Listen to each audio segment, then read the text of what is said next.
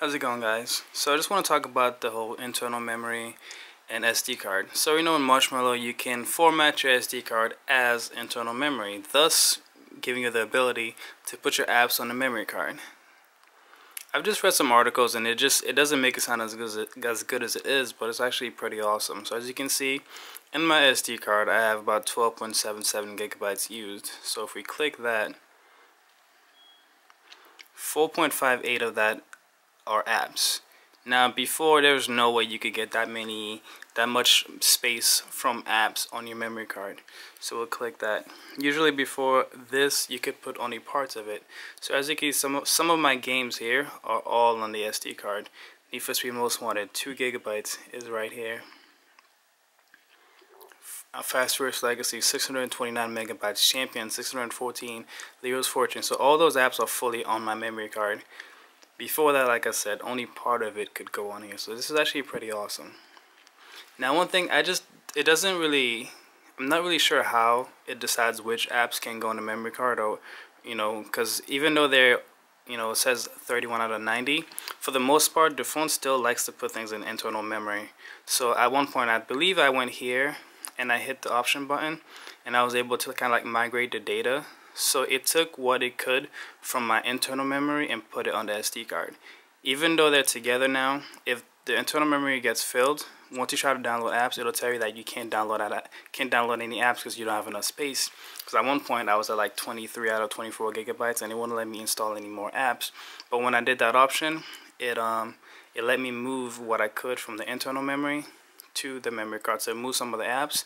It moved all my pictures because I had pictures here as well. So if I hit migrate data here, it would actually take things. So let's say you're getting ready to, let's say you want to take out your SD card. You don't, you want to use it for something else. You would do this. You would migrate the data. You would move everything from the SD card back to the memory, back to the internal memory, and then you could take the SD card out. So I did the opposite. Uh, what I did realize too is the fact that even when I was done, there were still some apps on my internal memory.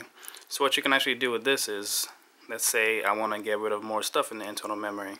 I would just let's say Rayman for instance.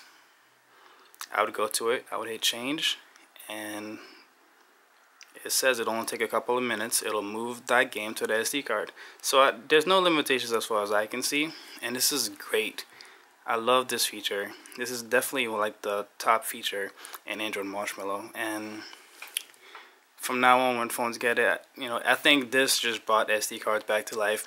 SD cards were dying and this just brought them back and I love it so far.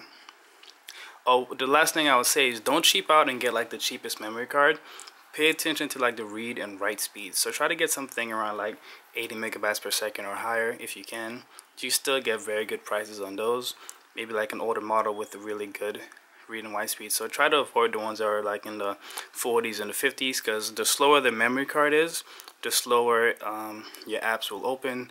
The they'll have a harder time to you know work as fluid as they should. So that's all I had to say on that one. Very very great feature. Um, phone's been working great on Marshmallow, and that feature right there, hands down, is the the most important one for me. Otherwise, that's it guys. If you have any questions just let me know. And I always get asked this this widget is Zooper by Beard 3 on the Play Store.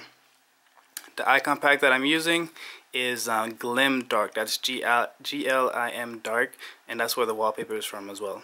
And I'll see you guys in the next one